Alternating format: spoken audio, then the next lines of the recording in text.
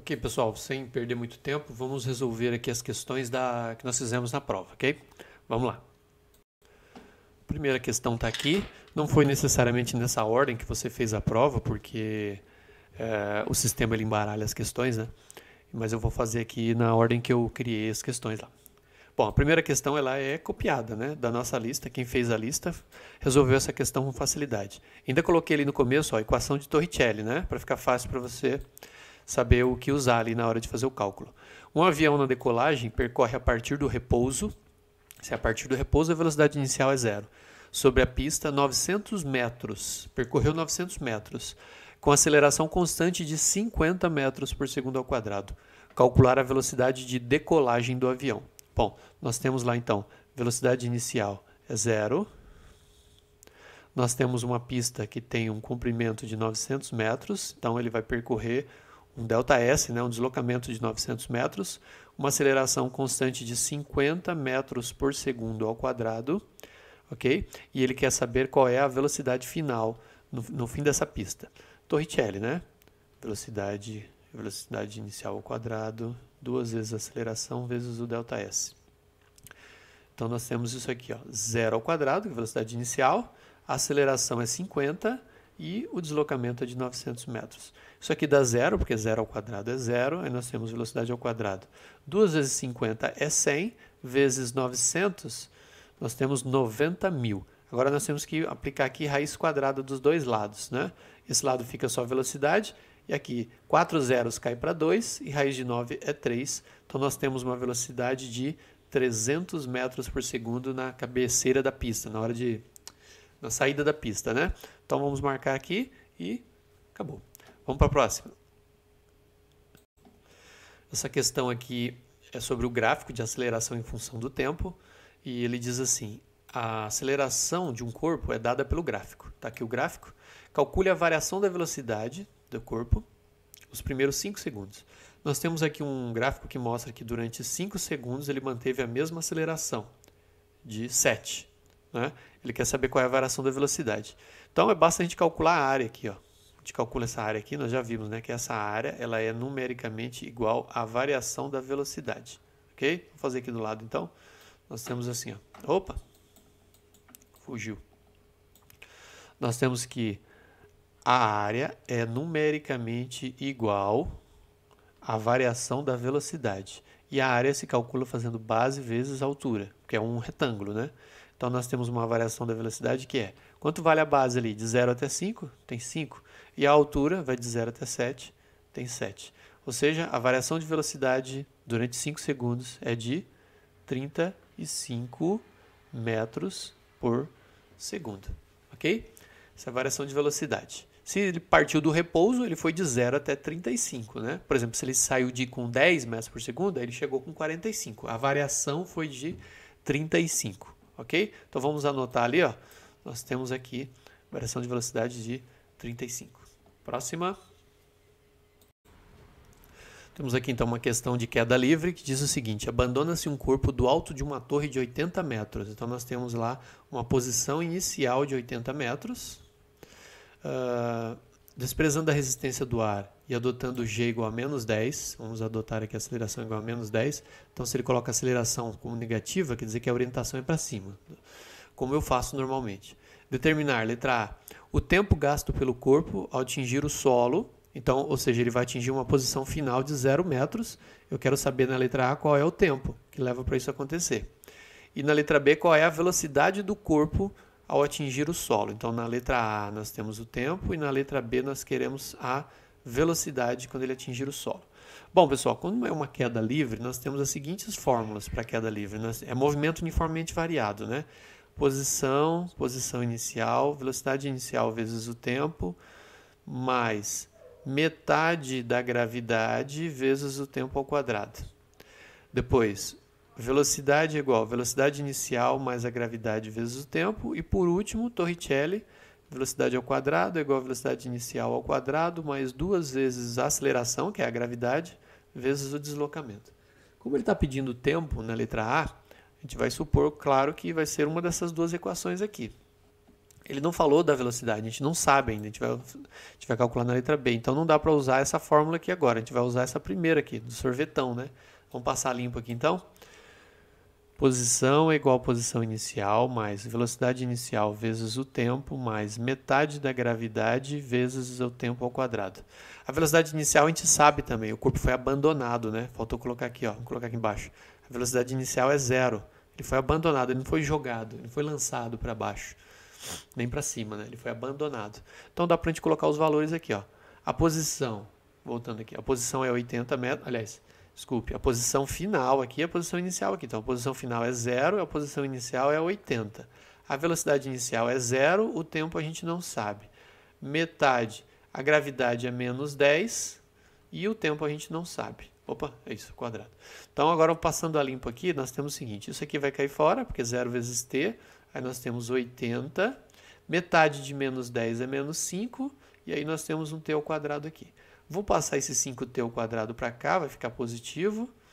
Passando 5 dividindo, a gente vai ter 16, e aí, tirando raiz quadrada né, dos dois lados, nós temos um tempo aqui mais ou menos 4, o que nos interessa é apenas o valor positivo, né? porque não tem tempo negativo. Então nós temos um tempo de 4 segundos. 4 segundos. Depois ele quer também a velocidade quando chegar no solo. Então nós vamos usar agora aqui o vovô ateu aqui. Qual é a velocidade quando atingir o chão, sabendo que ele foi lançado verticalmente, zero, abandonado lá do alto, a gravidade é menos 10 e o tempo para ele chegar no chão a gente acabou de calcular, foi 4 segundos.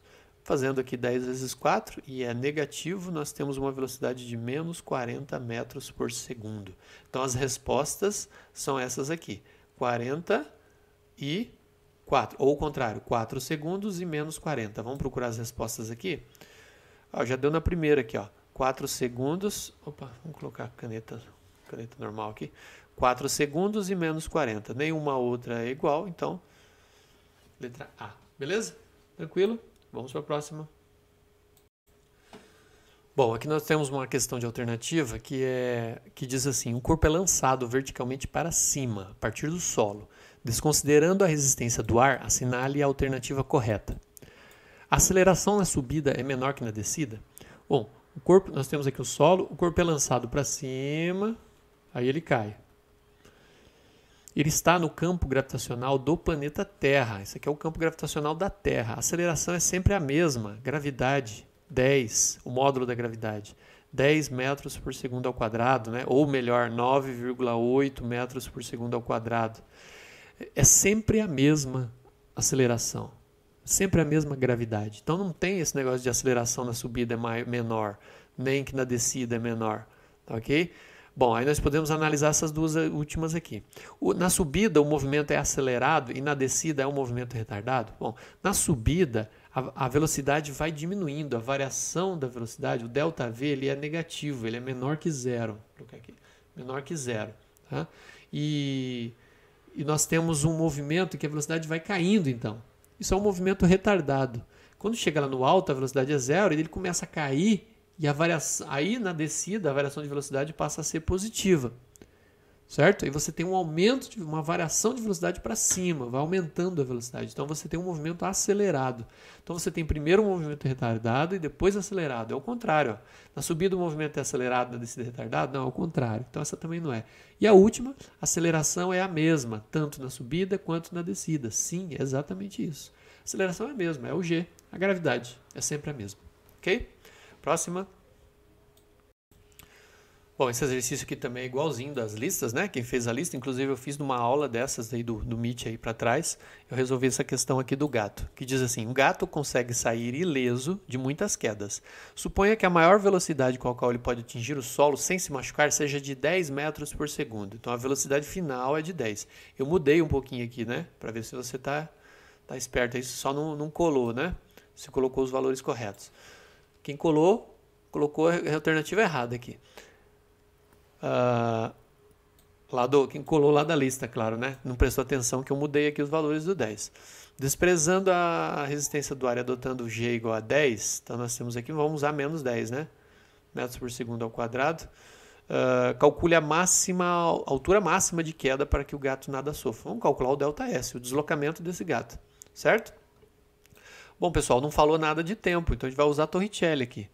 Tá? Lembra do Torricelli aqui, ó, velocidade ao quadrado, velocidade inicial ao quadrado, mais duas vezes a aceleração, vezes o deslocamento. Lembrando que o gato ele cai, ele não é lançado para baixo nem para cima, ele é abandonado do alto, né, de uma certa altura quando ele cai. Então a velocidade inicial é zero. Zero. Aí nós temos aqui então a velocidade é 10, que é a velocidade máxima, 10 ao quadrado. A velocidade inicial é zero. A aceleração é a da gravidade, então vamos por aqui menos 10 e vamos colocar o deslocamento aqui que a gente não sabe. Aqui nós temos 100, isso aqui cai fora, né? Nós temos aqui um menos 20 delta S. Passando dividindo, nós temos aqui delta S igual a 100. Eu já vou passar o menos 20 dividindo aqui, ó. Vou cortar. 10 dividido por 2 é 5, aí nós temos um deslocamento de menos 5 metros.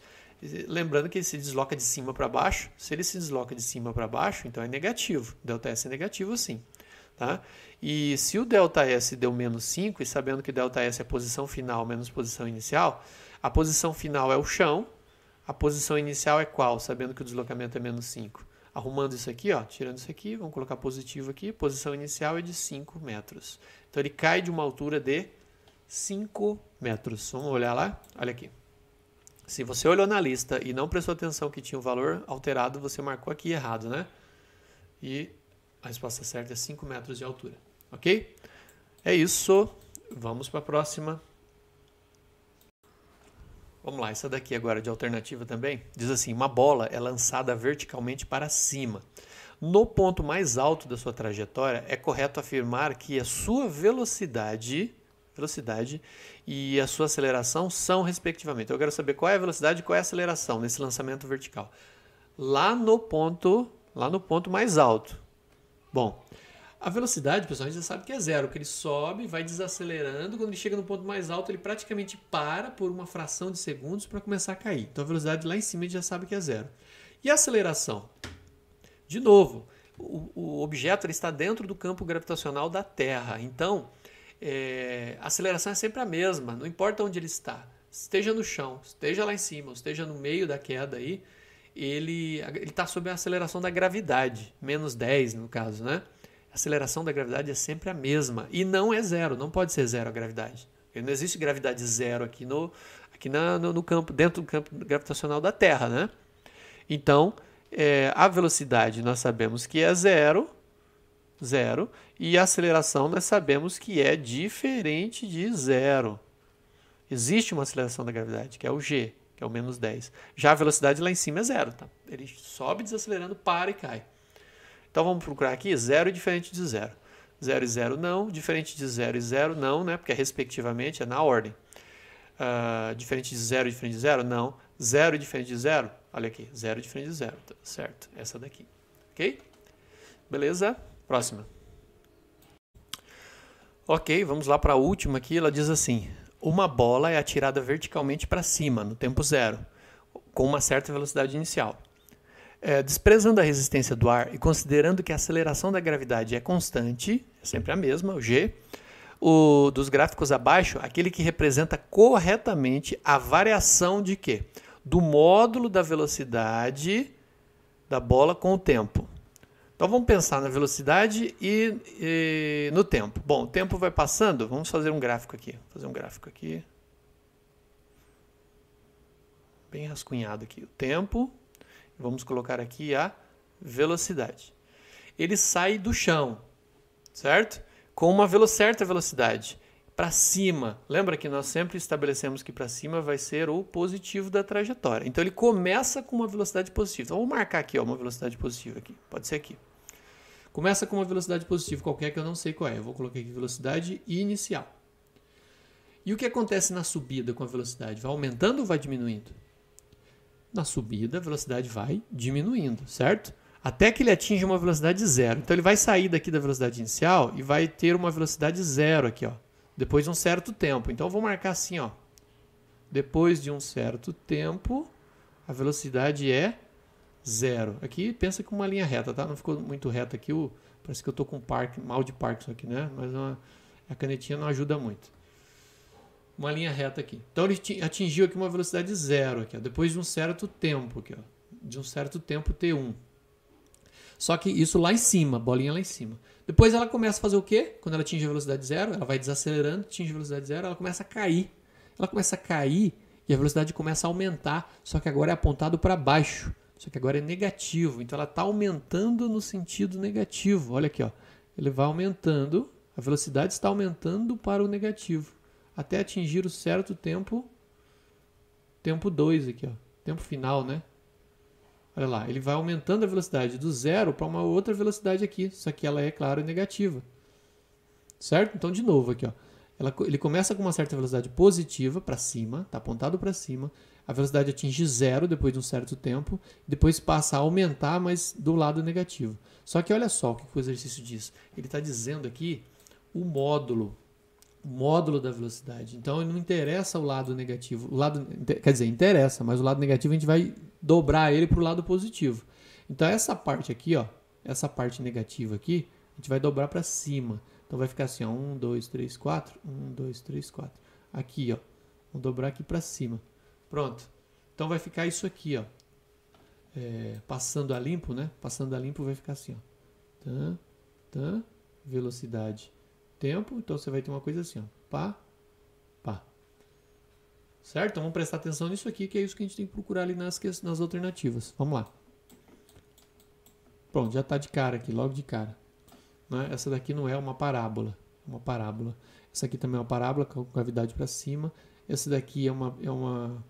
Ele começa aqui com zero. Não começa com zero, começa com uma certa velocidade. Não, não pode ser, né? Então nós temos aqui a letra A, olha só. Começa com uma certa velocidade vai diminuindo até zero e depois começa a aumentar de novo a velocidade. Só que deveria ser aqui, né? Mas como ele está pedindo o módulo, então a gente passa para o positivo aqui, ó.